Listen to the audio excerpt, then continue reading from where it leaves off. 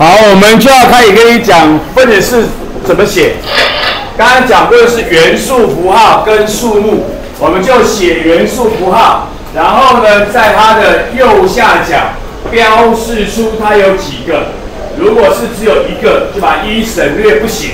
比如说，这个写作 S 八什么意思？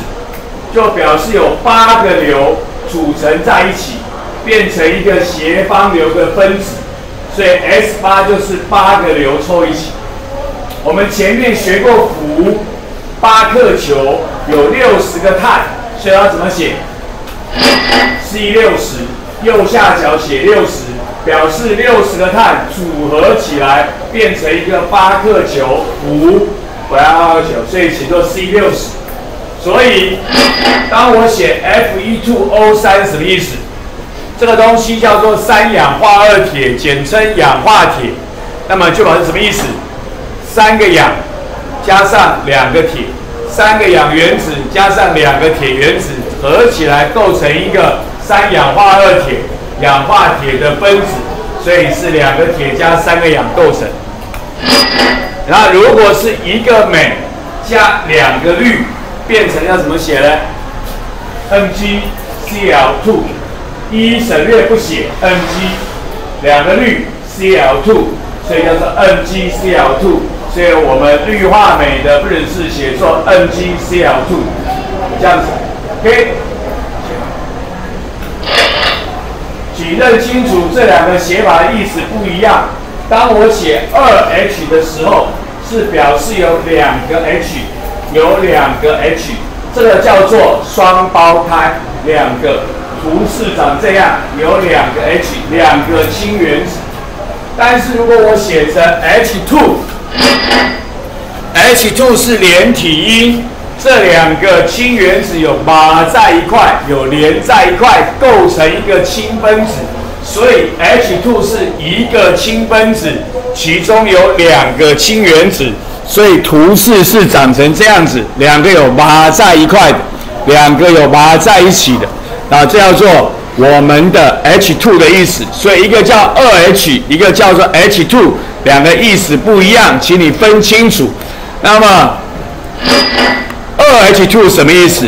就是有两个氢分子，每一个氢都是二是 H2，所以就长成下面这个样子，两个连体音，两个连体音。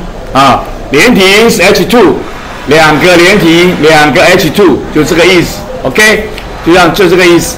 好，所以我们以后会出现一个叫做我的 OH，但会讲要跟我们这个 OH 要两个，我就要这样写，刮弧刮起来两个，这样表示我的这个 OH 有两个，两个 OH，就这个意思，OK。就让你了解这上面的意思是什么，二 H 跟 H2 的意思有什么不一样？希望你能够明白，一个是双胞胎，一个是连体婴，一个是氢分子，一个是两个氢原子。啊，二 H 是两个氢原子，H2 是一个氢分子。好，所以请问你这样子写，还有几个？还有几个？二 H2SO4，H2SO4 叫做硫酸。二 H2SO4 表示它有几个硫酸？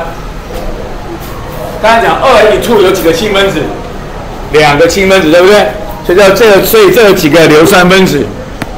两个，两个。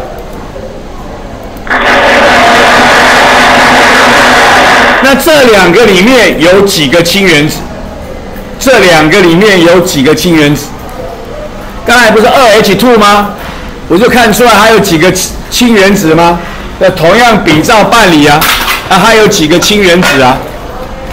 三十，三十，三十啊，请坐。二 H2SO4，请起立。还有几个氢原子啊？四个，请坐。还有四个。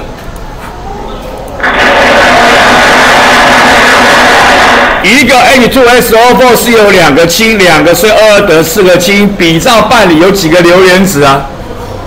还有几个硫原子啊？比照办理，六号，几个？二 H2SO4 有几个硫？硫是 S，有几个硫啊？五、四、三、二、一，不知道，请坐。一个 H2SO4 有几个硫？一个嘛，一省略不写嘛，所以两个就是要两个。那有几个氧原子啊？有几个氧原子啊？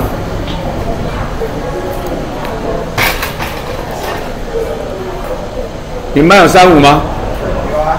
三，哈先生，二一。几个氧啊？H2SO4，二 H2SO4 几个？八个，请坐。有八个，一个有四个，两个有八个。OK，这就是要你了解，这也是考试会问的问题。好，这个我不晓得为什么课本要教这个。他说有些东西其实不是用分子构成，这个学问就麻烦又大。还有比如说金属。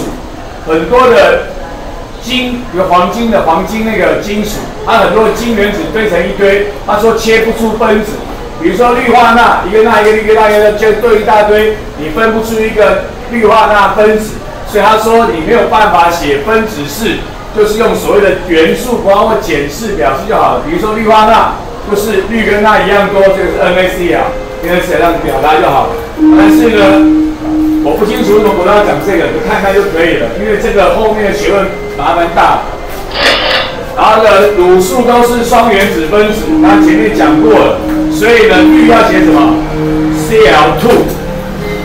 Br 要写什么？Br2。啊，还有双原子分子。气体除了钝气之外，那个氦氖氩之外，也都是双原子分子，所以氩 O2，氮 N2 都是双原子分子。当然，双原子分子，OK。再来有个根价表，讲义上二十八页也有。我没有会，我没有单独考根价表，你不爽背，你也可以不用背。但是如果你有背，如果你有背，然后配合我后面教教的，你如何凑出化学式，你学会了以后，我给你写任何东西的中文，你就会写出它的化学式，就会通通写出来。那如果你不背呢？不背就是你考试课本看到一个就背一个，看到一个背一个，反正国中会出现的也不多，背完就好，背完你就会了，这也是一个方法，听懂吗？如果你有背根价表，以后你会自己凑出来东西怎么写。不会背就看一个背一个，看一个背一个。那这里有所谓的根，有所谓的根啊，根氨根呢？有人氨根、氢氧根呢？根就是一坨的原子团，这坨原子团的性质会跟我们以后知道原子相似，那么就有集合性质，这叫所谓根。比如说碳酸根、碳酸根，当做一整坨在整合在作用。OK，就是让你了解一下，那后面再跟各位介绍我们到底怎么凑出我们的化学式的。OK。